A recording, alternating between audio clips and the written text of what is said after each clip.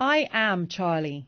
With the phrase that has instantly come to symbolise solidarity with the French magazine, cartoonists around the world expressed their horror at events in Paris. The sense of shock was shared by British Muslims who gathered in an East London restaurant to tell me their views. How can these people use the name of Islam as justification to murder people, murder children, murder journalists, murder people who have done nothing wrong, who just expressed their opinion?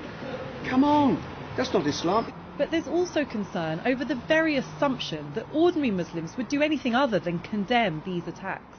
There's a growing, you know, frustration within the Muslim community to feel that with any any any event, you know, they have to kind of take a back seat and immediately apologise for something when it has nothing to do with us as individuals on an individual basis. And there's far from consensus over whether satirical images of the Prophet Muhammad should provoke offence.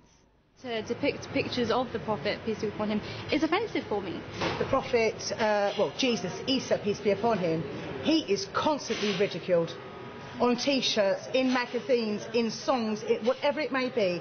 Jesus, peace be upon him, is constantly ridiculed. Are you upset about that? Because there are thousands of images about him. It's not the first time anger over material deemed anti-Islamic has escalated.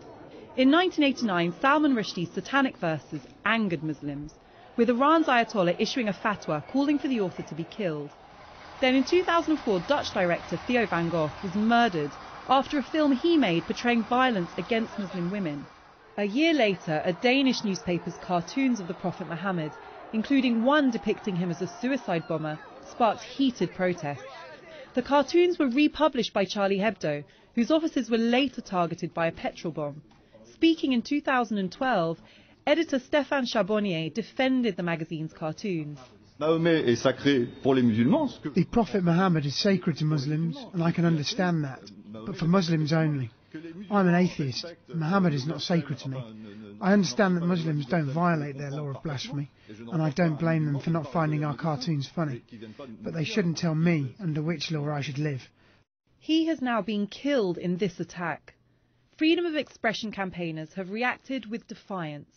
The best way we can respond to this is continue to exercise our right to express ourselves freely, to continue to satirise, to offend, to mock, and to make jokes.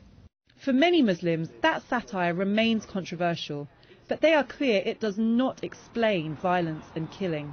You and I can disagree about whether or not cartoons of the Prophet are offensive or not. We can both agree you don't go out and shoot somebody for it.